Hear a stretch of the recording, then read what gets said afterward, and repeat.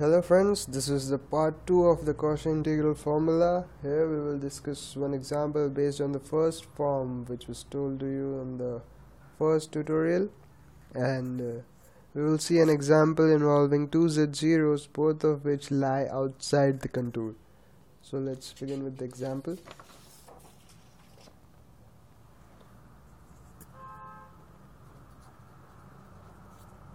So our example is integration along the closed contour C e raised to 2z upon z minus 1 z minus 2 dz where the contour is mod of z equal to 3 so here we can see that again putting z as x plus iota y the in the equation of the contour we get x square plus y square is equal to 3 square so this is again an equation of the circle plotting the circle.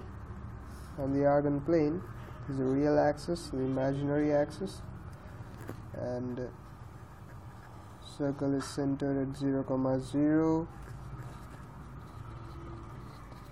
radius is at the radius is 3 so 3 comma 0 minus 3 comma 0 so now here we have two z zeros. 1 and 2 both of which lie inside the contour. That is 1 comma 0 as well as 2 comma 0 lie inside the circle. So now we have to integrate this. But first of all we know you have to know that we can't integrate all together this all together we can integrate only when there is one z0 if we have to apply Cauchy integral formula. So now we will have to separate this into two parts. So there's a trick how to do that. We can write the question e raised to 2z upon z minus 1 z minus 2 as a upon z minus 1 b upon z minus 2 uh, we have to write this we have to bifurcate this question into two parts involving each uh, where each part has one z0 so now we have to find the constants value a the value of the constants a and b.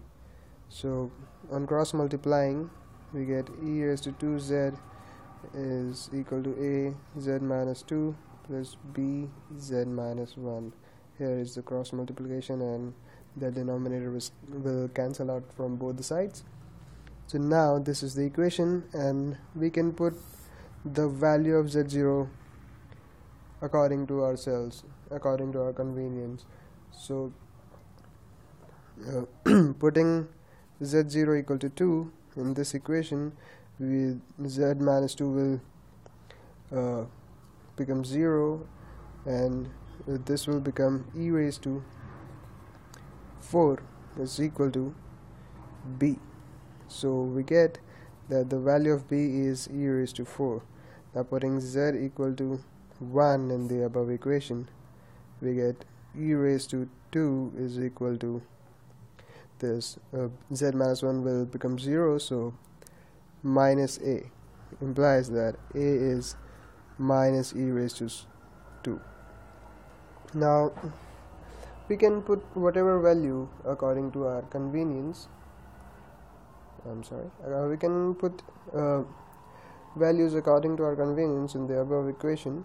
Uh, I would recommend you to uh, put small values of z in order to be fast so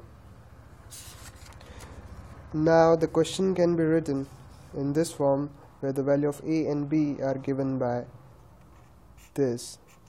The value of a is minus e square and the value of b is e raised to 4 so now our question is translated in this form as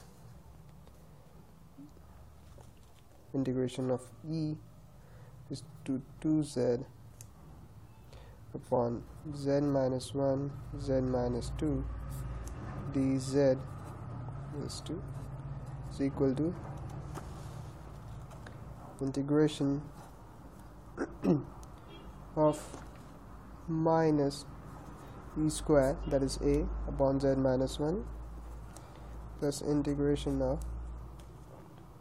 b upon z minus 2 that is e raised to 4 upon z minus 2 dz dz so now we can have these as individual questions so